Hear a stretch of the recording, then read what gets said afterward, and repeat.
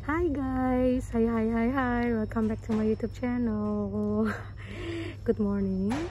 Hari ini aku mau pulang ke Indonesia, ke tempat halaman aku. Tempatnya itu di Demak, Semarang Demak. Dan uh, berhubungi selebaran, right?